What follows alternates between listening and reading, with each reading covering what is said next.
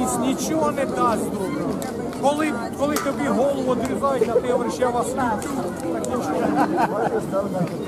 Ні, я знаю, як ви До ставите. пустями люблю. Я І казав, шановні, вузи всі на Україні повинні перейти на державну мову. А вони до сьогоднішнього дня.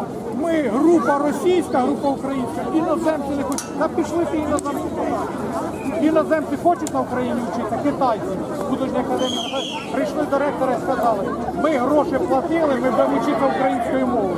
А це нечість, що все понаїжджала русь.